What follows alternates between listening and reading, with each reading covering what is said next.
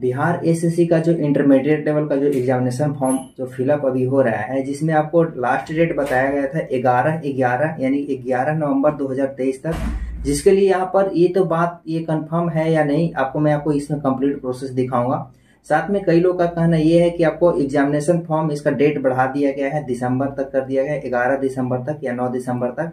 तो उसके लिए मैं आपको कंप्लीट प्रोसेस बताऊँगा। आप इस वीडियो को बिना स्किप किए हुए देखिएगा। मैं आपको इसमें सारा प्रोसेस बताऊँगा कि आपको डेट कब तक फाइनल इसका बताया गया है। ऑफिशियल नोटिफिकेशन जारी किया गया है, जिसे नोटिफिकेशन के माध्यम से आपको मैं दिखाने वाला हूँ कि किस तरह से इसका डेट जारी किया गया है। फ़िलहाल जो इस वीडियो में आप सभी को जानकारी देने वाला हूँ, वो आपको बिल्कुल हंड्रेड परसेंट प्योर एंड सही है, जो आप इसके माध्यम से आप कर सकते हैं। वीडियो को देखने के बाद आप पूरा कंप्लीट आप इसमें प्रोसेस समझ जाएँगे। तो चलिए शुरू करते हैं।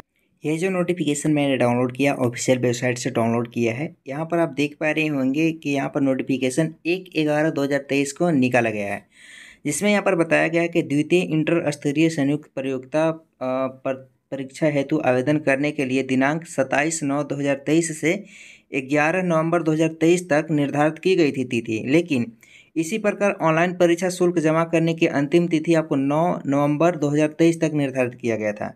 यहाँ पर बताया कि अभ्यर्थियों के व्यापक हित को देखते हुए ऑनलाइन परीक्षा शुल्क जमा करने की अंतिम तिथि 9 ग्यारह दो हज़ार कर के स्थान पर आपको 9 बारह 2023 यानी कि 9 नवंबर के जगह पर 9 दिसंबर कर दिया गया है।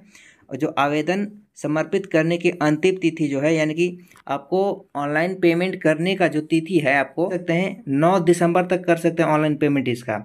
आप रजिस्ट्रेशन का जो डेट है ना रजिस्ट्रेशन का डेट आपको ग्यारह नवंबर तक ही लास्ट किया गया है। आप इतना ध्यान दें कि जो मैं आपको बार बार यहाँ पर बता रहा हूँ कि आपका रजिस्ट्रेशन जो करना है इंटरमीडिएट लेवल का जो जो बिहार एसएससी वाला है फॉर्म इसमें आप रजिस्ट्रेशन कर लीजिए ग्यारह ग्यारह दो हज़ार तेईस तक, क्योंकि इसका लास्ट डेट ग्यारह ग्यारह तक ही है जो रजिस्ट्रेशन करने का। और जो रजिस्ट्रेशन करने के बाद जो आईडी पासवर्ड आपको मिल जाएगा ना तो आईडी पासवर्ड मिलने के बाद आप लॉगिन करके आप यहाँ पर आप ग्यारह दिसंबर तक आप कंप्लीट करते रहिए।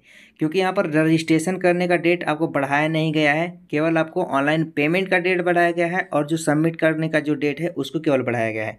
जो ऑनलाइन पेमेंट का डेट है, जो अब 9 दिसंबर तक है और जो ऑनलाइन पेमेंट करने के बाद जो सबमिट होता है, वो सबमिट करने का डेट आपको 11 दिसंबर तक रखा गया है। जो आपको इस तरह से आपको निर्धारित किया गया है तिथि, ये नहीं कि आपको रजिस्ट्रेशन करने का डेट आपको बढ़ाया है। आप रजिस्ट्रेशन कर लीजिए, आपको ग्यारह ग्यारह तक है, मात्र अभी दो से चार दिन, अभी पाँच दिन टाइम बचा हुआ है तो आप इस दिन में आप पूरा कंप्लीट कर लीजिए रजिस्ट्रेशन को और आईडी पासवर्ड आने के बाद आपको यहाँ पर नौ बारह तक आप पूरा कंप्लीट कर लीजिए फॉर्म को, क्योंकि वेबसाइट स्लो होता है, इसके वजह से यहाँ पर डेट इस तरह से बढ़ाया गया है, फिर आपको मौका नहीं दिया जाएगा। तो इसलिए आप इस वीडियो को ज़्यादा से ज़्यादा शेयर कीजिए, और इससे संबंधित और भी कोई सवाल हो तो कमेंट करके एक बार पूछ लीजिएगा।